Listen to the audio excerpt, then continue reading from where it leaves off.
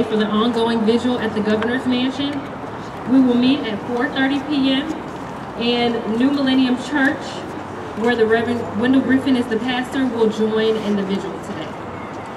Tomorrow, April 15th at 11:30 PM at Shoemaker Center in Bentonville, there will be a panel discussion entitled, What If We Could Save the Lives of Men? That's going to be in Bentonville, Arkansas tomorrow at 11:30. I'm going to be one of the panelists.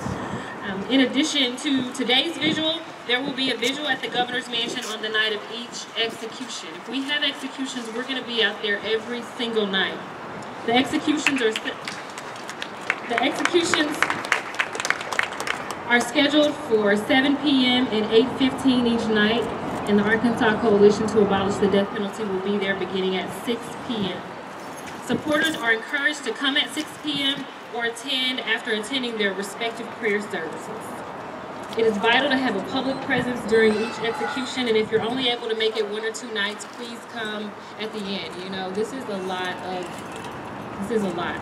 This is a lot. In addition to the, the visual that will be here in Little Rock, the ACADP vigil, there will also be individuals meeting in Rogers, Arkansas at 7 p.m. at St. Andrew's Episcopal Church in Rogers. It's 840 West Oak Street.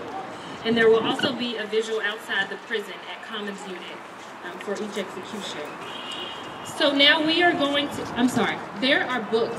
Um, Damien Echols did donate some books, and um, as with all of our donations, those, um, those books are totally free. If you would like to make a, Dr. Whitfield is holding the books.